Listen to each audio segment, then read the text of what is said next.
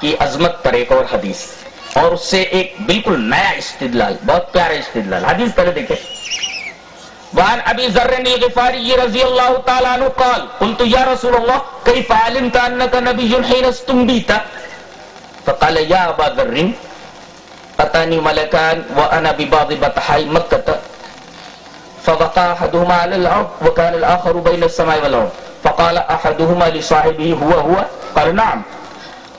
काला फजिन हो बेरजुलिन फजिन तु भी फर फवजन तु सुम काल फजिन हो बेअशरतिन फजिन तु भी फरजह तु सुम काल जिन हो बिमेअतिन फजिन तु भी फरजह तु सुम काल जिन हो तु भी फरजह तु कन्नी अंजुर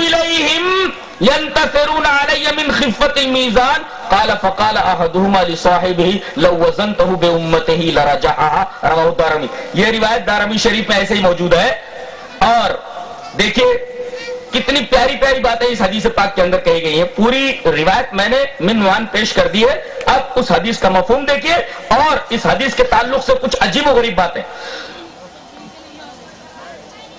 हज़रत अबू जर गफारी रज़ी अल्लाह तला फरमाते हैं कि मैंने नबी करीम सल्लल्लाहु अलैहि वसल्लम से पूछा कि अल्लाह के रसूल ये बताइए कि आपको कैसे मालूम हुआ कि आप अल्लाह के नबी बना दिए गए हैं? तो आपने फरमाया, ए अबू जर, मैं बतहा के एक हिस्से में था, एक वादी है मक्का की, बतहा, उस वादी के एक हिस्से में था अचानक दो फरिश्ते आए। एक तो ज़मीन पर आ गया एक तो ज़मीन पर आ गया। दूसरा वो कानल आखरु बैन समाय दूसरा, आसमान और ज़मीन के दरमियान मोहल्लक रहा। एक दूसरे से पूछ रहा है, हुआ हुआ, क्या ये वही है? कल नाम जो बोला हाँ ये है। कहा तो ऐसा करो, एक तराजू लाओ। एक तराजू में इनको रखो और एक तराजू में इनके एक उम्मती को रखो। तराजू के एक पलड़े में इनको रखो, नबी को। और तराजू के दूसरे पलड़े में एक उम्मती को रखो, तोलो। तौला गया मुझे तो मेरा पलड़ा। भारी हो गया, नीचे चला गया। और उस आदमी का पलड़ा ऊपर चला गया जिसमें वो आदमी रखा हुआ था। तो कहा, ऐसा करो, एक पलड़े में इनको रखो, एक पलड़े में दस उम्मतियों को रखो। फिर मुझे तोला गया तो मेरा पलड़ा नीचे चला गया। फिर उसने कहा, एक पढ़ने में इनको रखो, एक पढ़ने में सौ उम्मतियों को रखो। फिर मुझे तौला गया तो सौ उम्मतियों का पल्ला ऊपर चला गया। हल्के हो गए वो, मेरा पल्ला नीचे चला गया, मैं भारी आ गया। फिर उसने कहा, ऐसा करो, एक पल्ले में इनको रखो और एक पल्ले में एक हज़ार उम्मतियों को रखो। फिर तौलो। फिर तौला गया, मेरा पलड़ा नीचे चला गया, ये एक हज़ार जो लोग एक पल्ले में रखे हुए थे पलड़ा ऊपर चला गया। अब के काफ़ी लोग हो गए थे ना, एक हज़ार लोग। आप फरमा रहे कानी अंसुर मीजान। तराजू का पल्ला हल्का होने की वजह से ऐसा लगता था जैसे सब डामाडोल हो रहे हैं, मेरे ऊपर गिर पड़ेंगे। तो एक फरिश्ता दूसरे से बोल रहा रहन दो। अगर पूरी उम्मत के ज़रिए इनको तोला गया तो ये भारी आएँगे। यानी एक पलड़े में इनको रख दिया जाए और एक पलड़े में तमाम उम्मतियों को तो जिसमें ये रखे हुए होंगे, वो पलड़ा भारी हो जाएगा बराबर? ईसाई लोग एक सवाल करते हैं। तुम्हारे नबी कहा बोले, हमारे नबी ज़मीन पर। आपको मौत आ गई, आप हुजर आयशा में दफन है, मदीना में है आप। जन्नतुल वकी के पास, जन्नतुल वकी में नहीं हुजर आयशा में। आपकी कब्र ज़मीन पर है। अच्छा तो मोहम्मद नीचे हुए। हमारे नबी किधर है ईसा? बोले तो चौथे आसमान पर है। तो बड़ा कौन जो ऊपर है? या बड़ा वो जो नीचे है? कौन बड़ा? कौन बड़ा? इस हदीस की रोशनी में जवाब दीजिए आप। पलड़ा जिसका नीचे चला जाए, वो भारी होता है कि पलड़ा जिसका ऊपर चला जाए, वो भारी होता है?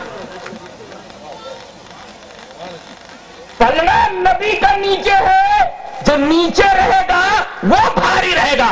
ऊपर वो जाता है जिसका पलड़ा हल्का हो जाए। लिहाजा हमारा नबी नीचे रहते हुए भारी है। एक सवाल और करते हैं वो, कि तुम्हारा नबी मर गया क्या ज़िंदा है? बोले, हमारा नबी तो मर गया। हमारे नबी मौत से हम कनार हो चुके हैं।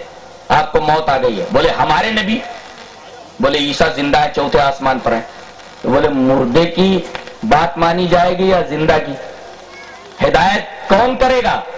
हिदायत के लिए कौन मौजू है, ज़िंदा या मुर्दा? मुर्दा क्या हिदायत करेगा? और मिसाल देते हैं वो।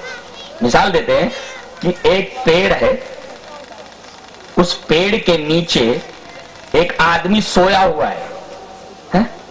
और एक आदमी वहाँ बैठा हुआ है। अब एक तीसरा आदमी आता है और उस पेड़ के पास से दो रास्ते जा रहे हैं। एक इस तरफ़ जा रहा है एक इस तरफ़ जा रहा है। अब ये तीसरा आदमी आता है अभी हैरान है कि मैं इस रास्ते पर चलूँ तो अपनी मंजिल पर पहुंचूँगा या इस रास्ते पर चलूँ तो मंजिल पर पहुंचूँगा। कंफ्यूजन में है। सवाल यह है कि अपने रास्ते के बारे में किससे पूछेगा? वो जो बैठा हुआ जाग रहा है या जो सोया हुआ है, उससे रास्ता पूछेगा? ये तीसरा आने वाला। यानी बताना ही चाहते हैं कि तुम्हारा नबी तो उस सोए हुए आदमी की तरह है, मर गया है। और ये जो बैठा हुआ है, ये तो ज़िंदा है। तो ये तीसरा आने वाला रास्ता किससे पूछेगा? उस सोए हुए आदमी से कि ये जो बैठा हुआ है, उससे। तो अहले हदीस ने क्या जवाब दिया? नहीं। उस सोए हुए आदमी से ये तीसरा पूछेगा, क्यों? इसलिए कि ये जो बैठा हुआ जाग रहा है, ये भी रास्ता भूला हुआ है। इस इंतज़ार में है कि ये सोने वाला उठे तो मैं रास्ता पूछू, इधर जाऊँ क्या उधर जाऊँ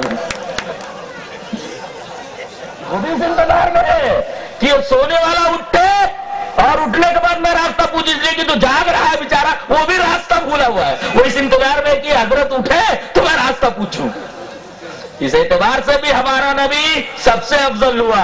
इसी वजह से कहा जाता ना, आप अफजल लंबी है। पता ये चला कि आपको एक पलड़े में रख दिया जाए और दूसरे पलड़े में तमाम उम्मतियों को तो आप जिस पलड़े में होंगे वो पलड़ा भारी हो जाएगा। अच्छा। अब आज हमारे दरमियान नबी करीम सल्लल्लाहु अलैहि वसल्लम नहीं है। क्या मौजूद है हमारे दरमियान? आपकी अहादीस। अब मैं क्या करता हूँ? आपकी एक हदीस एक पलड़े में रखता हूँ। एक पलड़े में रख देता तमाम इमामों की तमाम बातें एक पलड़े में रख देता हूँ और तोलता हूँ। कौन सी चीज़ भारी हो जाएगी? नबी की बात। जब आप सबसे बावजन है तो आपकी बात सबसे बावजन यह हदीस तालीम देती है हमें कि नबी की बात सबसे वजनी है। अगर आप उम्मत के मुकाबले में पूरी उम्मत एक पलड़े में और आप एक पलड़े में, जिस पलड़े में आप हो पलड़ा भारी हो जाए, ऐसे ही आपकी बात एक पलड़े में रख दी जाए और दुनिया के तमाम इंसानों की बात एक पलड़े में रख दी जाए तो आपकी हदीस को सराखों पर रख लिया जाए और दुनिया के तमाम इंसानों की बातें ठुकरा दी जाए।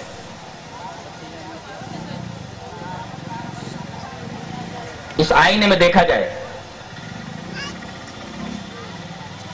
ये हम नहीं कह रहे।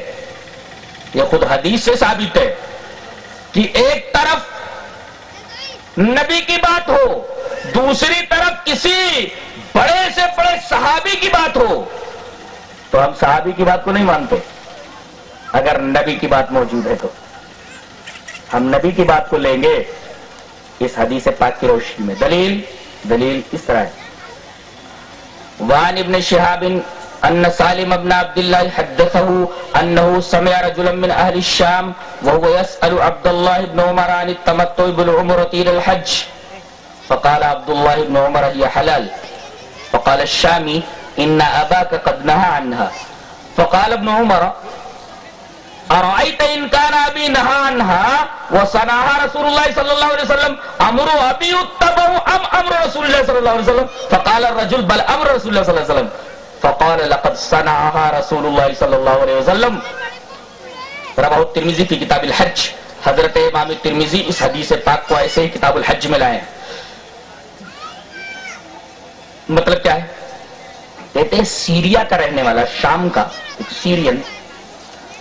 हज़रत अब्दुल्ला इब्न उमर रज़ी अल्लाह तु के पास आया और उसने कहा कि हज़रत, एक मसला पूछना है। कहा कि पूछो। कहा कि ये बताइए, हज तमत्तो करना कैसा है? हज तमत्तो करना कैसा? आपने फरमाया, हज तमत्तो जायज़ है। उसने कहा, लेकिन आपके अब्बा हज़रत उमर रज़ी अल्लाह तो हज तमत्तो से मना करते थे। आप कह रहे हैं कि हज तमत्तो जायज़ है, लेकिन आपके अब्बा हज़रत उमर मना करते थे, बराबर? अब हजरते अब्दुल्ला इब्न उमर रज़ी अल्लाह तआला जज्बात में आ गए, गुस्से में आ गए, कहने लगे सुन अरा इनका नहा नहा, सुन, मेरे बाप ने मना किया है, वह सना रसुल्ला वसल्लम, और नबी ने किया है, अब बोल, अमरो अभी उत्तम अम अमरो रसुल्ला मेरे बाप की बात मानी जाएगी, या रसूलुल्लाह की? तो वो शामी बोलने लगा, ईमान वाला था ना, कहने लगा बल अमर रसूल रसूल की बात मानी जाएगी। तो हज़रत अब्दुल्ला फरमा रहे लकद सना रसूल रसूल ने हज तमत्तो की इजाज़त दी है। क्या पता चला इस हदीस पाक से? खुद हज़रत अब्दुल्ला इब्न उमर, जो हज़रत उमर के बेटे हैं, इस हदीस में उन्हीं का वाकया मजकूर है जो तिरमिरी किताबुल हज में है कि एक तरफ़ इनके वालिद रसूलुल्लाह सल्लल्लाहु अलैहि वसल्लम के दूसरे खलीफा, दूसरे जानशीन, बहुत बड़े आलिम हज़रत उमर रज़ी अल्लाह तु के इश्तेहादात आप मुताला कीजिए, पता चलता है कि आप कितने बड़े आलिम थे। एक तरफ़ उनकी बात और दूसरी तरफ़ नबी करीम सल्लल्लाहु अलैहि वसल्लम की बात। हज़रत अब्दुल्ला उमर फरमा रहे कि किन की बात मानी जाएगी? मेरे बाप की या मेरे नबी की? ईमान वाला शामी कहने लगा, नहीं, नबी की बात मानी जाएगी। तो हज़रत अब्दुल्ला नबी करीम वसल्लम ने हज तमत्तु की इजाज़त दी है। यह हदीस फैसला कर देती है कि एक तरफ़ उमर की बात, अबू बकर रज़ी अल्लाह की बात आ जाए और दूसरी तरफ़ नबी की बात आ जाए, नबी की बात को ले लिया जाए शादी की बात को छोड़ दिया जाए। अजीब बात है। हदीस मौजूद है, लेकिन अगर ऐसा किया जाए तो कहते हैं कि उमर रज़ी अल्लाह की शान में गुस्ताखी करते, आपने ऐसा किया ये लोग ऐसा कह रहे हैं, अरे भाई, पहले हदीस जो करता है, वो किसी हदीस की रोशनी में करता है, साफ़ हदीस की रोशनी में करता है।